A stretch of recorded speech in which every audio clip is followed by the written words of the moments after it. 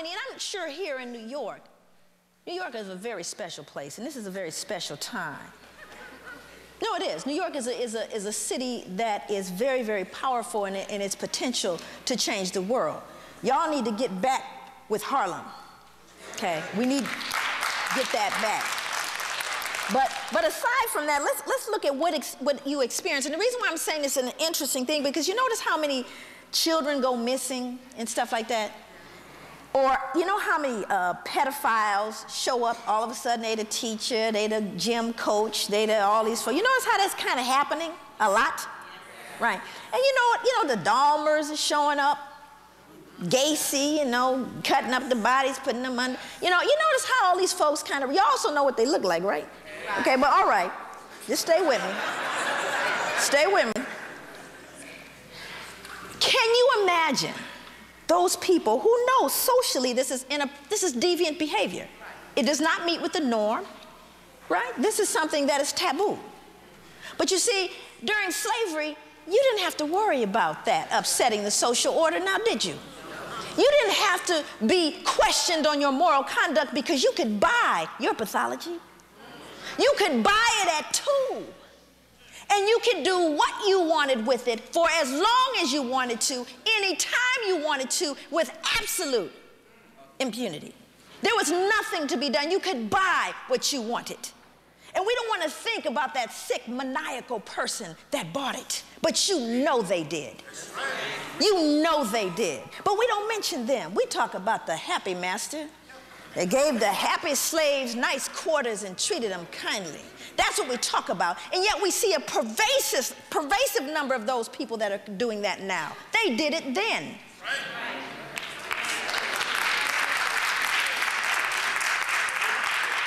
But then some of you may say, well, I don't know, is that written somewhere, Joy? so let's go to what is written. There are a couple of books if you want. You know, some of people, I, I, it's interesting how we get, get hung up on things. You know, people have questioned the, the Willie Lynch story. I don't care. You can question if you like. Maverick, throw it out if you want. Get 100 Years of Lynching, the book, and you get the newspaper accounts. It makes uh, Willie Lynch look silly. Okay? And if you want the pictorial, you know, without sanctuary, it's not table reading, but if you want to see it, it's there. Okay, so we don't have to worry about whether the people want to substantiate it, because you know that's the first thing they do. And they find someone that's, that's black too, unsubstantiated, by the way. But let's look at what, what the law said. It is a book called Southern Slavery and the Law. And the one thing that's very important about this uh, is written by a man named Thomas. Last name is Thomas. Southern Slavery and the Law. What's interesting about this is the opening chapter talks about the preoccupation with the, the black male penis size. You know, we keep talking about the myth and this and all that. Their whole first chapter devoted to the preoccupation with the male genitalia which may explain why shortly after being lynched, they were castrated. But let's look at what the law says. And if any slave resists his master or owner or other person by his or her order correcting such slave and shall be happen to, to be killed in such correction, it shall not be accounted felony. But the master, owner, and every other such person so giving correction shall be acquit of all punishment and accusation for the same as if such accident had never happened. That's called the Casual Killing Act. That means if you happen to be beating your slave and you beat him to death, it couldn't be considered a felony. It was simply an accident while correcting the slave. And that sounds like painfully familiar to us around excessive use of force. Right? And we start looking at the appropriate use of force and how many of us end up dead because that was the amount of force that they needed to correct but let's look at this even closer. Why would you beat a slave to death? Well, you couldn't fine them because they had no money. You didn't want them to get jailed because then their labor is lost to you. So you must beat them severely in order for them to submit to you. Thus, slavery in, inherent in the process was violence, you see. And they say, we're violent. But who pushed whom first? So let's look at Another aspect, those of you that uh, understand that everything we do, we, we tend to pathologize. So how many of you are familiar with J. Marion Sims? J. Marion Sims, how many women in the audience know what a vaginal speculum is? Okay. So I bet you the brothers that we lost you on that. It's a um, it's an instrument that is used to peer into the vagina. It was created by this J. Marion Sims. He was credited to this day as being the wealthiest physician to have ever lived, given that. So let's read about what he did. J. Marion Sims was a physician in the mid 1800s who was credited with the creation of the first vaginal speculum, which was made from a pewter spoon. Sims had built a makeshift hospital in his backyard where he conducted surgical experiments on unanesthetized African slave women. Sims reasoned that slave women were able to bear great pain because their race made them more durable and thus they were well suited for painful medical experimentation. Because you know, Thomas Jefferson said we felt less pain, we didn't need sleep, and we didn't feel grief. That's really convenient, isn't it? So now we understand well, how did they get these women? Where, where these women come from that Sims got? So now let's go back and take a look. Well, they were brought to Sims, and they, the people would complain. Each one of these slave masters would bring these women in, and they'd say, This young woman here is not fit for duty. And Sims would, would look at these women, and indeed, they suffered from something called a vaginal fistula. You might have heard about this. Oprah talked about it. The woman on there was talking about a vaginal fistula. And a vaginal fistula often occurs during childbearing when a woman will tear so deeply that it will tear through the urinary tract and, and the bladder. And in fact, you will have feces and urine that will drip through uncontrollably. It does uh, heal but it smells and it's very uncomfortable and it's, it's really a, horrible state for women, uh, largely due to the, the smelliness of it. But if you are in fact one of those women that have a vaginal fistula, can you still work the fields? Sure you can. You can work the fields, you'll be smelly, maybe uncomfortable, but you can work the fields. Can you sweep and clean in the house? Can you feed the animals? Well, then what makes her, J. Marion Sims, unfit for duty? I need to have sexual access to her. So you need to fix her so that I can do her, because that is her duty to me. Okay, so this is why they came to J. Marion Sims, and let's take a look at why they thought this was all okay. And it, it has to do with pathologizing race. You see, because by pathologizing race, making race a sick thing, then you therefore justify your behavior to remove the cognitive Yes, you're listening. That's right. You got to remove that dissonance. So now, their first pathological symptom was their primary racial characteristic, their skin color. In a medical world that categorized life as either normal or pathological, which is dichotomous thinking, people of the African diaspora were continually condemned to the category of pathological, their abnormal skin color serving as a foil for normal white skin. Pathological causes for this condition were concocted in order to explain its prevalence. In other words, how come there's so many of these black people if it's a pathological thing? Here is what they, the favorite theory that ar arose out of the scientific medical journals. These people, the skin color and attendant physiognomy of the black, are the result of congenital leprosy. They decided that's what's wrong. If you're black out there, you got congenital leprosy. That's why you're black. Such medical arguments in collusion with racist and stereotypic scientific and cultural explanations provided the grounds for differential treatment. Now, second pathological symptom. The second symptom was gender. Black females who were perceived to be irreligious, lustful, and immoderate. Well, my God, that is really convenient. Here is the proof. Their protruding buttocks and genitals were offered as physical evidence of their pathology. Anybody with a big butt? then it gets a little deeper. This is one where I just really had to, I couldn't believe this one. And some people have heard about this particular symptom. Samuel Cartwright argued, this was a 19th century physician, that two particular forms of mental illness caused by nerve disorders were prevalent among slaves. One was drapetomania, which was diagnosable by one single symptom the uncontrollable urge to escape from slavery.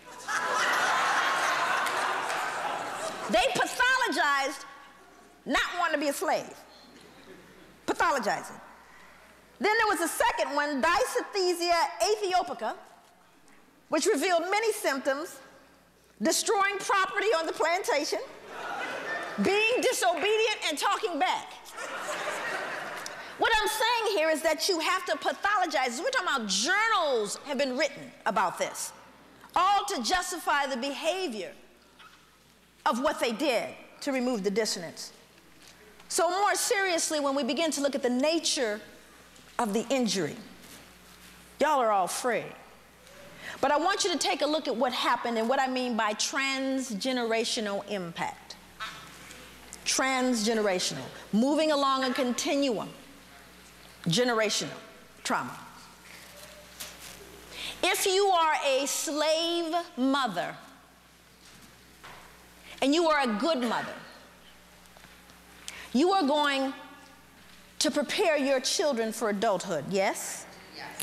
In every society, there had been something called rites of passage, which is movement from your childhood into adult, meaningful work in support of the clan rites of passage. We have now adopted the term adolescence, which is a European term, by the way, it was developed in Europe, which now gives young people permission to lose their minds. We just say, oh, yeah, they're adolescent. Not in my house. I guess they just didn't get to be adolescent in my house.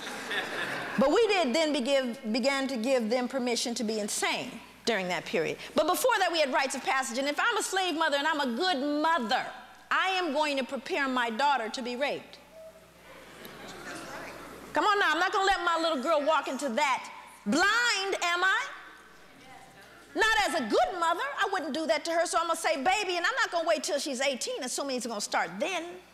I gotta pull her out at oh, 8, 9, and 10 and say, baby, here is what's going to happen to you. Here is what he may or may not do to you, and, and this is what you might want to do to make it hurt less. And baby, don't scream because it may make it worse for you. And baby, they come, and I don't know if it's going to be one or two or a group of them, and I don't know how many times, but surely they are coming, baby. This is what they will do to you. If I'm a good mother, I will prepare my daughter for pathology. And when that night comes, when they come to wrestle her away, her father stands next to me, helpless as she begs him to help her. But y'all are free. Good afternoon. Um, as many of you well know, this is 30 Frames a Second, and I am Nat Wood. Um, that was Dr. Joy DeGruy. Um, she wrote the book um, Post Traumatic Slave Syndrome.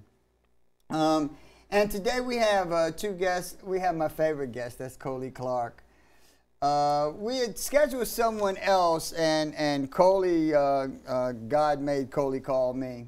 And so Coley is here today because she wants to talk about an event that they're having at Riverside Church uh, two days from now, um, April 4th at 7 p.m. Um, as it is, um, my original guest kind of like canceled. He had some personal problems, which was kind of good because the stuff that he kind of speaks about is um, is old thinking, and Coley is is uh, very young, very brib- uh, vibrant in the way she thinks and the way she sees things, and and and she uh, adjusts her thinking to an ever-changing paradigm. So it's good because that's basically our mission here. Um, the event that uh, they're going to talk about is um, it's called let me let me get it right uh, honoring the radical MLK. It's it's honoring Dr. King um, at a special event. It's at the Riverside Church. It'll be on Thursday, April 4th at 7 p.m. Um, at uh, the Riverside Church, which is 490 Riverside Drive between 120th uh, and 122nd Street. It's a lot of church. Um, and uh, Coley has been kind enough to bring with us the, uh, the organizer, the, the, um, the organizer of the event, uh, Dr. Johanna uh, Fernandez. Um, she's a professor um, at Baruch.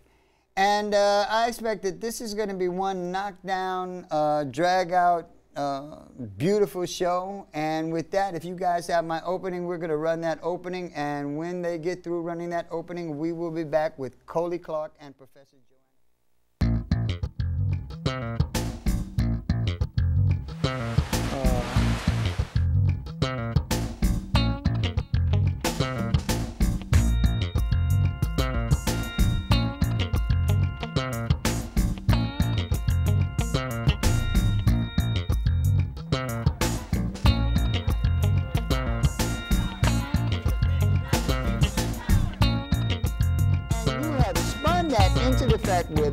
Victim is now the perpetrator and the perpetrator is now the victim. Mm -hmm. And that just drives me um, crazy. And we are back. Um, as I said before, I have uh, with me today uh, uh, the one, the only, the inimitable uh, Coley Clark and Professor Johanna Fernandez. And they're going to tell us about an event that's coming up at Riverside Church and uh, with that, I'm going to leave it to either one of you ladies who wants to chime in first. As you know, sometimes I am somewhat less than accurate, and they're going to make sure that I oh, am no, totally no, no, accurate because we do not want to misinform anyone. Um, Don't let him fool you, New York. Don't let him do that to you. this man is not only accurate, he does serious research before every show. I wish I had his talents and skills, especially the camera skills. He is the best. Nat, uh, seven degrees of separation. We love you, brother. Thank you, sister. I love you too. Now, the event that we're referring to, and Johanna's going to do a lot of talking today. I'm going to be one of the activists that's being featured for this event, even though I have worked on the committee with Johanna. Very pleased to work with this brilliant young woman who is also, uh, uh, how should you say, the chairperson of Educators for Mumia Abu Jamal, the campaign to get Mumia out in four of course, we've been saying, I tell her all the time, we're going to liberate them this summer. I mean it. Um, but she will be doing a lot of discussion about mm. how the program was formed. She called me to give me an invite, the other members of the committee. But 45 years ago, this Thursday, a brother whose journey begun in 1955 at Montgomery, Alabama, took that giant leap into human history and followed the road of the cross. And that was the road of the cross for Martin Luther King Jr. Mm. A journey of 13 long, difficult, trying, but very meaningful years. So we're going to be talking about Dr. King mm. today, about his radical legacy, because there's a tendency to see Dr. King as somehow, because he represented a nonviolent movement, mm. as being soft and gentle and kind, and he was soft and gentle and kind. But the movement that he represented challenged the very core of the U.S. in law and in human rights. Mm. And that's what we will be doing on this Thursday. There will be a storytelling section. Johanna will get into to that and into it all. But I'm from the storytelling section, and I will be letting the light that I live, New York, speak for me along with David Dennis and a whole lot of other folks from, from the original movement. I'm so pleased and so happy. Thank you, Johanna, for inviting me. Oh, thank you uh, so much for those powerful words. I think we should uh, probably start by saying that it takes a village mm. to uh, build a movement. And a village has contributed to the organizing of this event. Uh, Carol Nixon, uh, who's the director of uh, the justice programs at the church, uh, presided over this event alongside of um, Reverend Bob Coleman, mm -hmm. who's also uh, the chief minister involved in um, these justice programs at the church. There are others who were involved, including uh, Nellie Bailey and Jane Feldman. And as Sister Colia mentioned, this program is really about honoring the radical king. And as Sister Colia reminded me, that legacy of radicalism, contrary to popular belief, really began in Montgomery mm. when uh, Dr. Martin Luther King decided to commit himself and wed himself to uh, this uh, emerging movement Now, why was the Montgomery bus boycott a radical departure uh, in the movement? It was at that moment that a strategy developed within the civil rights movement, which began really much earlier during World War II.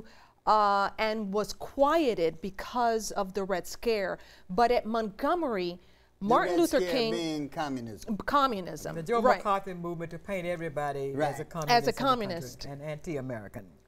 So in Montgomery, uh, E.D. Nixon, Reverend E.D. Nixon, uh, Martin Luther King, Rosa Parks decide that the struggle for black freedom must take place through mass action in the streets.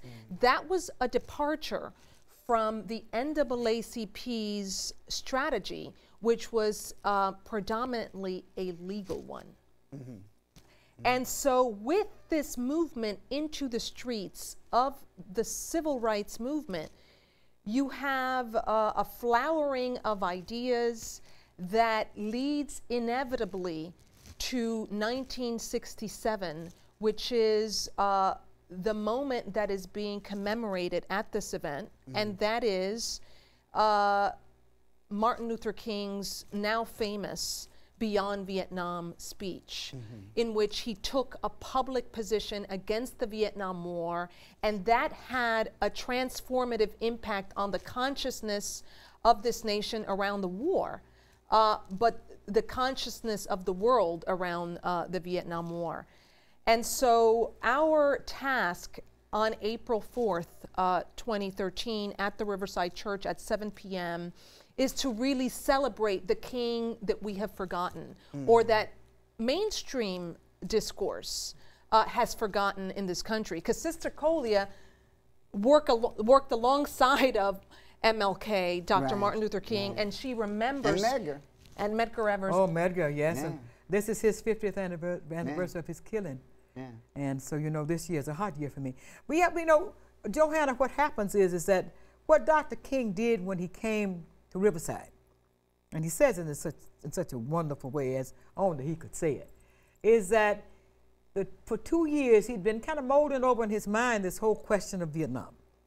Malcolm had come out in 63. Mm-hmm. Student Nonviolent Coordinating Committee had come out in mm-hmm. 63. Mm-hmm. His wife, Coretta Scott King, had taken a position on Vietnam in 63. But Dr. King had been quiet. So for two years, and he says for two years he molded over it. But there comes a time, I'm quoting him, there comes a time when silence is betrayal. Right. This is the same man that says to Right. us, uh, if you don't have a reason for which to die, you don't have no reason for living. Right.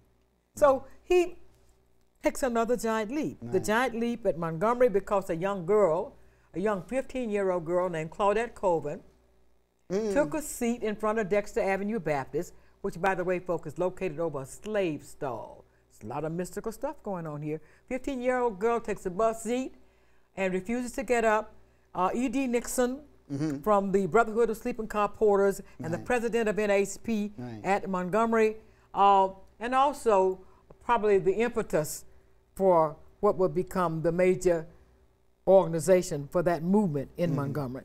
Uh, immediately rushes out. There are three days of mass meetings, and, and Dr. King has to be looking and listening. Looking and listening. This is March the 2nd, 1955, when that child takes a seat.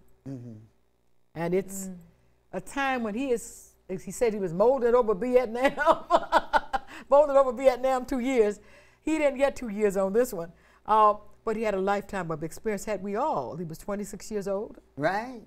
uh, very young. Right. Uh, A genius. no, but no, no doubt a genius. Uh, Uh, uh, uh, academically, he was uh, uh, extraordinary. novelty for- right. for he Montgomery, was, Alabama. Right. He was a novelty for New York and Connecticut.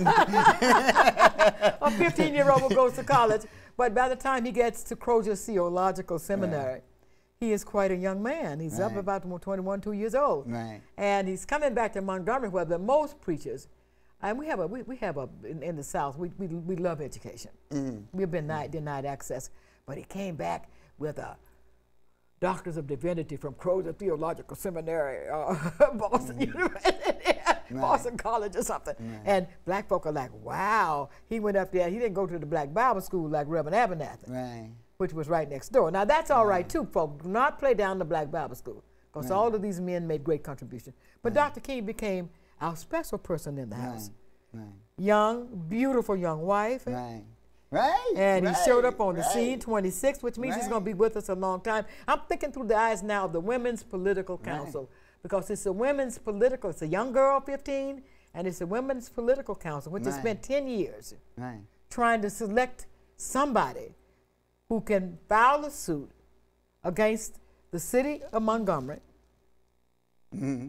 bus ending bus segregation mm-hmm. in Montgomery. And mm-hmm. it's been this has been going on. I mean, and there's mm-hmm. some great women involved. Susan McDonald, who was on the case with Claudette Colvin, because there are two things at Montgomery. There's the boycott and there is the lawsuit.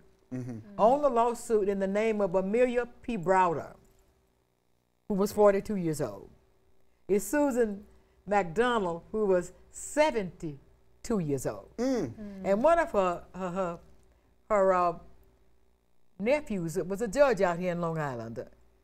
He was with us at Montgomery in 1990 when we brought home Claudette Colvin for the first time in 35 years. Wow. Ain't that something? And Governor Wow. Comer was nice. He gave Wow. a Freedom Award, to New York Times Award, the Martin Luther King Award for six unsung heroines uh, Mm-hmm. at Montgomery. But my point here is, is that these women then began to move. Mm-hmm. And that begins to be a steering. Three days of mass meetings, and they didn't select the girl. And the girl just had a lot of crisis because Mm. Right. it was father, she lives here in New York. Right. She works for 1199C. She's a year older than I am. Mm. Oh, she's a wonderful, powerful woman, Claudette, but she caught hold of hell on all ends Mm-hmm. Mm-hmm. because that summer she got pregnant. And in the South where I come from, you don't get pregnant. Yeah. Yeah. You yeah, don't get yeah, pregnant, ladies. Uh, as a teenager, you don't get pregnant as a woman Yeah. unless you're married. So, and I know you know about this from, from Oh, coming yeah, out of the Dominican Republic environment. Uh, this is was a novelty. So we lose a young girl in one sense, but it's a great moment because she sits down March the second. Emmett Till is killed in Mississippi, brutally lynched. Yeah, I on August think, the 30th. I It's a big year, 55. That in 55 any is a big year, brother. Not understatement. And then, so she's nine months prior to Rosa Parks, Mm-hmm. who chaired the youth council in which she was a member. yeah, And then two months, uh, which would be the seventh month. You know, it take nine months to get a baby. yeah, But you can get trouble in the seventh month because in the seventh month, Mary Louise Smith, yeah. uh, 16 year old, decided she'd take a seat.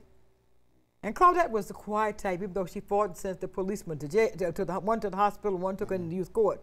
This little gal was tough because she was later desegregated to Y, the white Y, Right, at, at Montgomery. And she told me when, it, when, when, when I talked with her in 1990, uh, she said, I'll fight any place, anywhere, anytime. I ain't taking nothing until I'm free. So you can get the spirit of these young women. So she sets in, and then on December 1, we get Rosa Parks. Rosa Parks. So the, the two young mm. girls and the two older women are on the lawsuit. Uh, the two young girls are there in the name of their parent because they were juveniles. Mm-hmm. But it's the lawsuit that Dr. King, when he walked into the church, and you see him in the film, per, people, and he says, Well, I want you all to vote tonight mm-hmm. as to whether or not we want to call off the boycott because the lawsuit has been won. Mm-hmm. So the two play hand in hand lawsuit and boycott. So we get a legal decision mm. and a boycott. And this is where we get the road to the cross. Right. Because Dr. King's house was already being bombed. Right. E.D. Nixon's house was bombed twice with his wife mm. in it. Right. So the bombings are taking place, the killings are taking place, the beatings are taking place. Mm-hmm. All of these things are taking place, which should send any common sense mind to know that this has been a radical decision. Right. Right. Right. Because right, for sure, Right. if you right. Make this move, Right. you will die.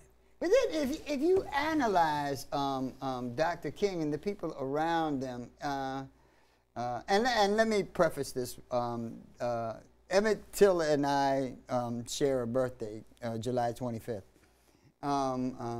Cole is July 21st, folks. right, right, right. But she's an old lady. she's Um, Emmett Till's year older than Emmett Till. uh, but um, um, if if you analyze the people that were around Dr. King, and Dr. King himself. Um, these were radical people.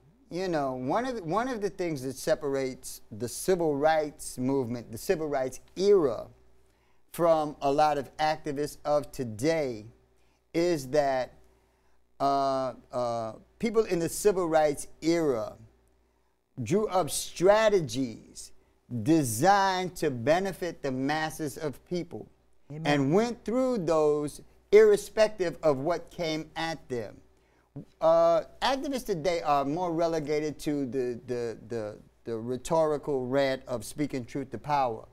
But we lack the, the, the strategic mindset of, of the civil rights era in a lot of ways. I mean, whatever was necessary, whatever face you needed to get us from point A to point B, they accepted. And when you look at Rosa, uh, Rosa Parks, she was, she was, you know, I mean, they have broken Rosa Parks down to some old lady with bad feet. Um, that's by not no Rosa means. That's not Rosa Parks. No. You know, um, More um, radical than King. Rosa Parks stood on the Correct. left. Rosa Parks was with unions Correct. who were on the left. Correct. Correct. Correct. Because remember, A. Philip Randolph in 1941, when the war breaks out, informs Roosevelt that if he can't give blacks 2% of those federal jobs, Right. Right. he put 50,000 people in, in, in Washington. Right, And right. Roosevelt said, okay, I set up a Fair Employment Practice Commission. FEPC. Right. So there is radical beginnings here, and this sister is a part of that thinking because she's working with those Brotherhood of Sleeping Car Brothers, and you know this is this is her Right, beginnings. right. But she also stood very strong on women. Right. Right. Right. Mm-hmm. Always right, have. Right. Right. I always said she she she she came into her 18th year Right.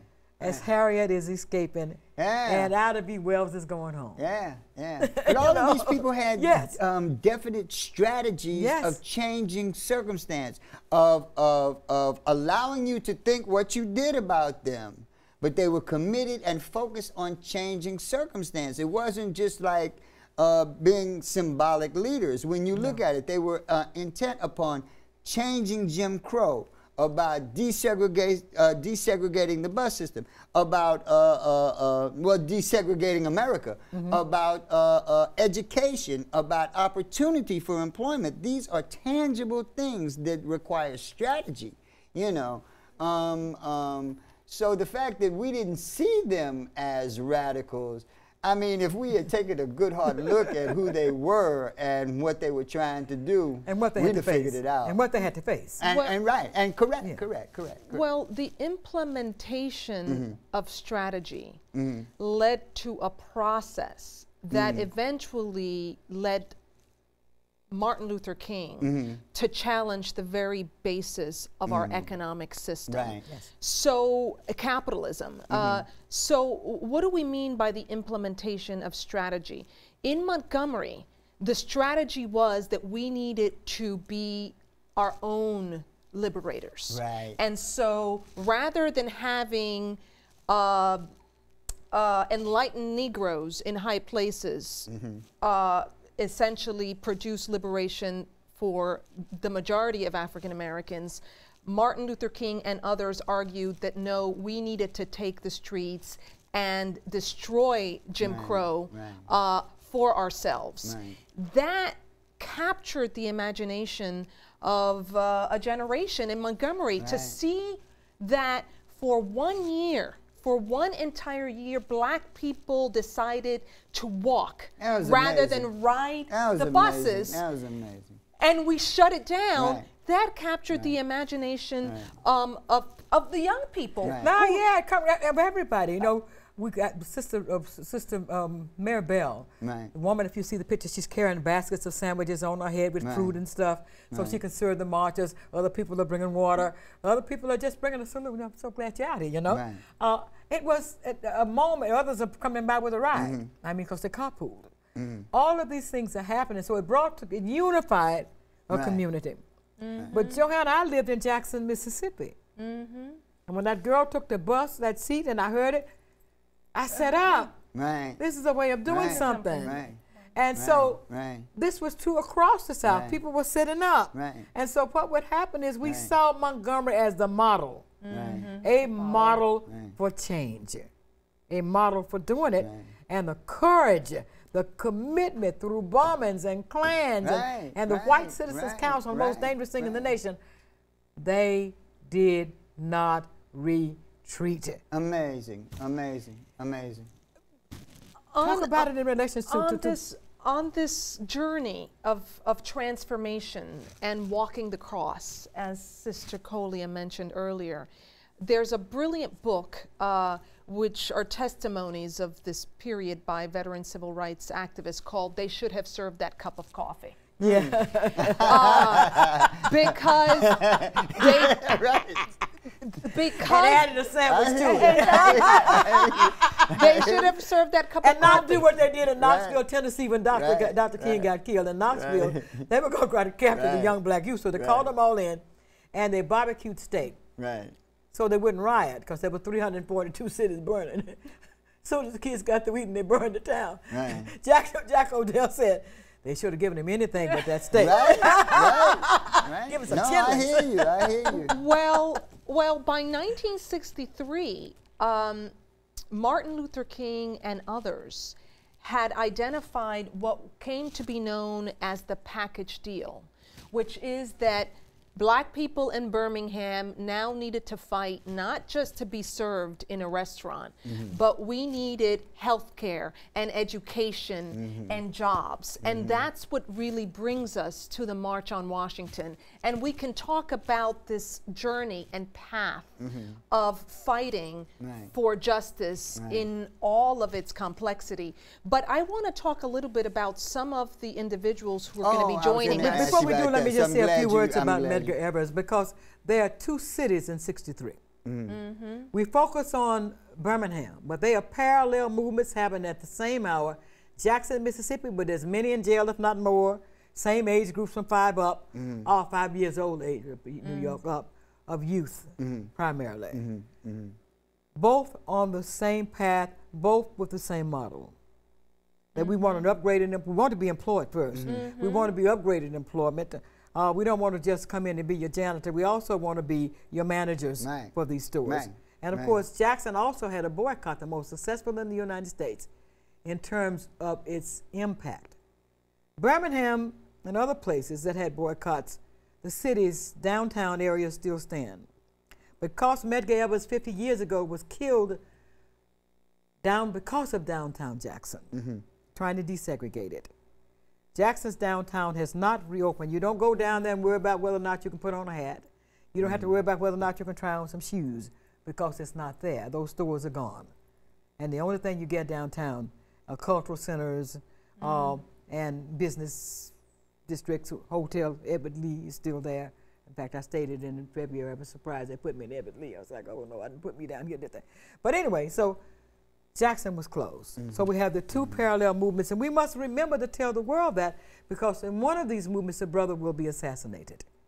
Medgar will die Right. at Jackson, Right. and it's a it's a it's a powerful moment and another evolution in the movement. Um, I like to tell my students that as uh, important as Martin Luther King was, Mm-hmm. he didn't make the movement.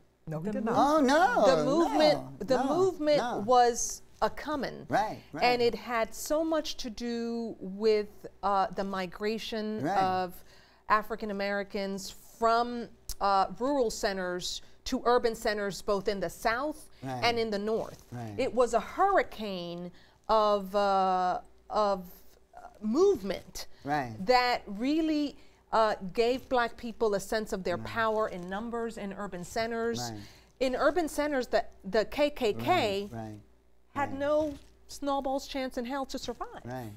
Uh, in rural centers, the uh, rural areas, the KKK um, had somewhat more power because people Right. were isolated and atomized. So it's this this movement of black people to the cities that really gives rise um, to the civil rights movement. But we are going to talk about the real MLK right. in his unsanitized reality at this event uh, on April 4th. Now, now um, um, I want you to talk about uh, uh, April 4th and the guests. And I'm going to come back to what you're saying because, uh, in a lot of ways, I'm just like a little boy with his nose pressed up against the candy store. And, you know, listening to you, I could, I could do this forever. Um, but you're going to have uh, um, uh, Coley is going to uh, be one of the speakers. Also, I think Ramsey Clark, uh, uh, Sonia Former- Sanchez. former Attorney General, so they'll know who- Um, who um, tell me some of the people who. Uh, tell me about the event itself. So um, the event will begin with veterans of the civil rights movement Right. who work closely Right. with King, and those veterans include Sister Colia Clark, uh, Ben Chaney. Mm, um, right from uh, Goodman, who- uh, uh, Schwerner, and Chaney, who. were, Uh, This is amazing. You need to come out to this event. This is going to be an amazing event. You might not ever have this opportunity again. This is an extraordinary. And Ben Chaney, as you suggested, is the brother, The brother. of James uh, Chaney. We're going to have um, Ramsey Clark uh, and Jamal Joseph in that. First part of the program, Right. which is going to be a narrative Wow. of the people who decided to make the commitment alongside of King Right. in um, in the movement Right. and the transformation that they themselves underwent and their recollections of the transformation that Martin Luther King himself underwent. And then we are going. no, no, no let me interject that David Dennis. uh, Oh, David Uh, Dennis. uh, one of the original Freedom Riders, and on the second phase of the Freedom Riders al- also, uh, he was uh, the Congress of Racial Equalities. Right. I'm from right, the Student right, Nonviolent Coordinating right. Committee in Medgar, but Right. David was uh, the Congress of Racial Equalities field secretary for the state Mm-hmm. of Mississippi. Mm. And he's, he's been through more than we can dream, but he will be here. yes. Yes. Yes, tha- that's quite important. I, I think you mentioned something earlier that's important, which is that this is probably a historic event because Right. these voices Right, right. Are- Are not young. are not young, Yeah, are not right, young, and we What do you mean we're not young? well, Well, we're I young mean, in spirit. um, and you're young in ideas, ideas. and you're, uh, uh, uh, I mean, you're far younger than most of the young people I know because a lot of the younger, younger activists, I'm not even sure if that's the right term, um, but they seem to repeat an illusion of something that happened over and over and over and over again. And when you talk about um, people like Medgar and, and, and, and, and you know, all the people that you mentioned, Martin. Don't these, leave out these Malcolm were 'cause he's a part of evolutionary, not just revolutionary, Yes. but evolutionary Evolutionary. minds. They, um, they continue to grow, Grow. and, and change according to circumstances that came at them. Um, I can't imagine Malcolm saying the same things that he said in 65 today. I can't imagine that of Martin. I can't imagine that of Marcus. I can't, uh, Marcus Garvey. I can't imagine um, that of any true revolutionary leader because, you know, it is strategy and you change your strategy as circumstances change. Yes, true. Um, um, but um, all the all of the people you mentioned were just extraordinary. And um, when you when you mention people like Jamal Joseph, um, you see that it required the the movement itself not only required uh, fortitude in the in the in the in the in the face of extraordinary um, circumstances, you know, but it required that generationally, from the the oldest to the youngest, everyone had to play their position. You know, they had to like stick together and play their position. So the movement.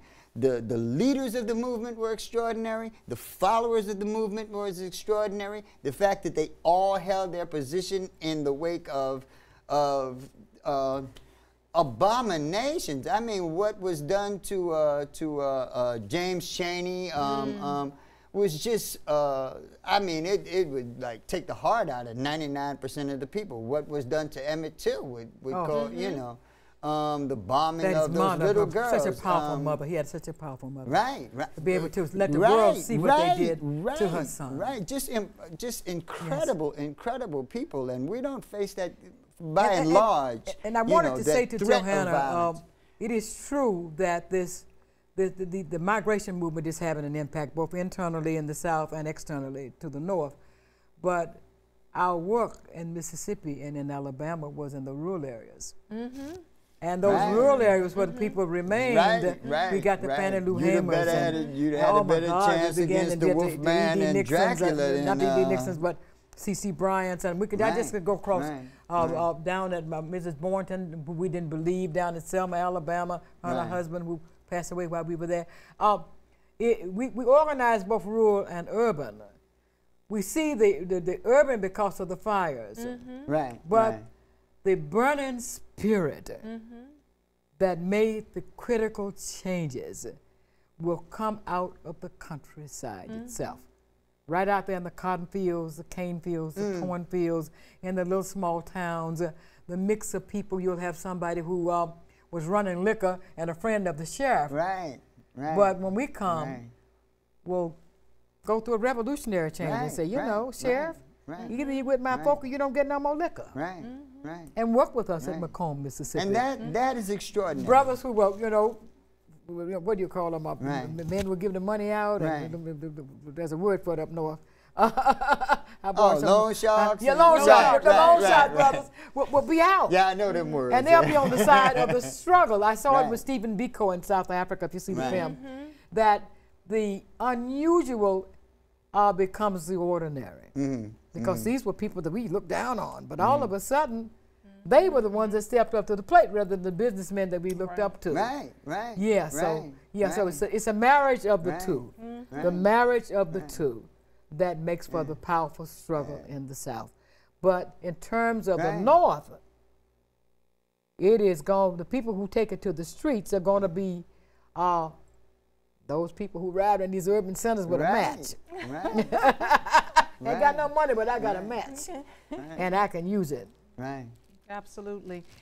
I want to uh, just say that we want to put these veteran civil rights activists in conversation with newer voices today who are in the That so streets right. Jamal Jones, but yeah. fighting around a spectrum Right. of issues. So we will have Reverend C.D. Witherspoon from Baltimore. Wow. participate in this conversation. And I know that he's about to launch uh, another Poor People's Movement. right. I think we have a call. We're gonna. Um, I'll let you finish your oh. thought, and if we do have a call, I can put the call through. But- we uh, will but have want you to Irma finish. Bahar um, of the Audre Lorde Project participate in this conversation, and Wright, Mm. who's a U.S. Army colonel who took a stand Wow. against right, the Iraq right, war. She was the highest. Uh, Yes, Uh, right, yes. right, and correct. The Iraq, uh, Iraqi and uh, Afghani wars. She took right. a stand. yes, Right. Reverend Extraordinary. Reverend. Graylan Hagler of um, Washington, D.C., Right. uh, will uh, be giving uh, us the final sermon. We will also have Victor Toro Uh, and there. Reverend Hagler is a liberation theologist preacher. Right, Yes. right, right. Go You ahead, know, I'm I sorry. used to be the only kind I know. Uh, but um, you can put the call through uh, uh, um, if you can like uh, figure it out if, if we haven't lost it because I'm like,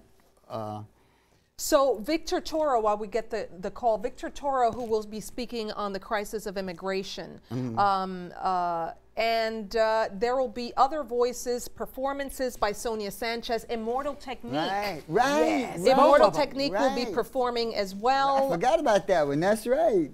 Um, and we will also have an Iranian brother, Yes. Hossan, Wow. who will be um, performing uh, and singing at the event. We shall overcome. Right, right, right. That's another thing that uh, that uh, we overlook. Uh, time has taught us to overlook um, the fact that we were so um, that everyone played their part. The artist community played, Played their, their part. part. When when Amen. you know, I hear Coley. Um, Coley didn't need this. Coley could have.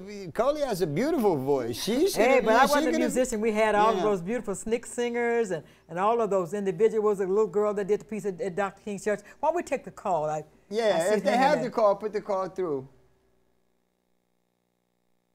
I see him pressing buttons, so hopefully it'll it'll pop Hello? up there. Hi, how you doing, caller? Uh, well, I'm doing real good after watching your show now. Excellent, excellent, excellent. Thank you. So, Brother Matt, once again, um, exceptional programming, brother. Um, I want to say hello to the Queens. Hello, know, I was hello, Hello? hello. Hello? Yeah, we hear you. We hear you. We All hear right. I was, oh, okay. Well, I just wanted to say, you know, I was like listening to y'all drop these names, you know, of um, I, I don't even know what to call them because you know, like when I think of the fear factor of knowing that they were people that will actually stretch your neck Right. or attending something, you know, things like that. You know, I it's like the the courageous spirit that they had is because I know, like living in New York, and I've seen how people in the community were scared to go by um Occupy Wall Street. Right. You know what I'm saying? Even to drop a right. can or whatever. It may not have been a totally black thing, Right. but it was something. You know what I'm saying? To um Right. speak against the evils that we long been suffering. You know what I'm saying? And I'm like, wow, you know, people have changed, and black folk like to always want to refer to as ancient history, and now is now. But you know that old saying, so much has changed and so much has stayed the same. You know what I mean? Right. Right. Right. Right. Right. And I'm like, wow, you know, and I, I see the Queen Koya here, you know what I'm saying, her wealth of experiences and whatnot. Oh. Um, I met this sister, um, Dorothy Cotton and whatnot. She's Amen, like- brother. Dr. King's. You know what I'm saying? Yes. And I'm like, wow, you know, you kind of remind me of her and whatnot. You know what I'm saying? And I'm like, you know, it's a beautiful thing to still know that we have survivors from the past. Right. Mm-hmm. Right. Right. You know what I'm saying? But we still have to make other pioneers because we still got to like keep this fight going. You know what I'm saying? It's just so much more sublime. People think it's over, but it's not. Right. There's a reason why all this happens to us. And I'm just glad that y'all out here making it known. Thank You you, know I'm brother. And out here with, with, with the next generation. Yeah, I'm gonna I'm gonna You know? allow them. I'm gonna see if we have another call. If not, I'm gonna allow them to uh, to uh, speak. I'm not sure. Um, um, kind of started late because I had a long roll in and whatnot. I wanted to sort of set the mood. Um, um, but uh, uh, uh, thanks, uh, thank you so much for your input. It's it's like No doubt, brother. Um, y'all have um, a good one. he Thank said you. something that was um, very accurate about um, Occupy Wall Street and the, and the threat of violence. Uh, he said, "Stretch your neck." Stretch your neck was almost like uh, uh, PG-13 compared to some of the things that they were doing to, to people who were involved in, in, in the movement. And um, um, if you want to say that Occupy Wall Street uh, was not a black thing, um, then you're only talking about um, a lot of the people who were down there. But in point of fact, economics affects black and brown people more than anyone else. And and and uh, when they had the transcripts from Wells Fargo of uh, of uh, the the reverse right the reverse redlining thing. Black and brown people, um, they steered black and brown people to what they referred to in their emails as ghetto loans for mud people, irrespective of whether or not you qualified for a prime loan. So um, um, don't get it twisted. Uh, the issues mass itself foreclosures of- of black had more to do yeah. with black and brown people than anyone else. The mass foreclosures was The like black and brown. steered toward black and brown people. The mass unemployment Right, is still black and right, brown. Right, yeah. right, Um, um, and the mass unemployment is still black and brown, you know. And And, the the- economic disparity is still black and brown. And the educational disparity is still black and, And the brown. jail And, system- and the jail system, Right. you know. Um, but um, um, Well, Johanna, t- it's- it's- uh, in your, I- I'd love to hear her speak because Mm. I think this young woman has really begun the new process of re-radicalizing education. right, Mm-hmm. Right. And I went to a program where she was one of the sponsors of Right. at the Borough Manhattan Community College uh, with Mumia Abu Jamal, um, well, about Mumia Abu Yeah, Jamal and, and the incarceration the education nation. Uh, but let us talk a, a, a little bit about how you see, you know, Dr. King and, and, and, and Vietnam was what this, Mm-hmm. that's why people consider him radical because he was now Right, speaking on right, Vietnam. right, but he also in here will talk about Peru, he will talk about Honduras, he will talk about South Africa, he will talk about the other places in the world, both East and West. And he very carefully balanced them, as he, I had recall. the, he had the In, in his speech, in the speech, yes. him, yeah. They were all, we all said Yeah, Vietnam, yeah, but he had all of them in the speech. So can you, can you talk a bit about that in terms of what that means for the young people who are watching today? Well, by the end of his life, uh, Martin Luther King, in this speech, was condemning what he called, quote, militarism, racism, and extreme Right. materialism. Right. By the end of his life, he was asking the question who owns the iron ore? Why must we pay water bills in a world that's made up of water? The, I'm quoting Martin Luther King, not- Yes, not yes, verbatim. yes. Uh, so essentially, the Martin Luther King that we do not read about in our textbooks was a Martin Luther King who had understood that in order to move forward toward freedom, we had to question a system that, quote, produces beggars. Right. And that system remains with us today. Right. And that is why inequality and injustice and economic stratification is with us today. And those are the questions that have been uh, put forth to a new generation of uh, activists today who are out there. Mm-hmm. Mm-hmm. there are mm-hmm. plenty of young people who are out there yes, you who, had a whole room. wanna I came to a place y'all had it packed, the whole auditorium Right, packed with right, young people, right. lined up outside to go through that security system, which bugged me to get in.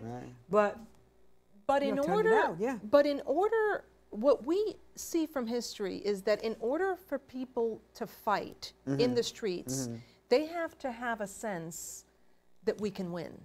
Right. And so these models of protest are very important, like Montgomery.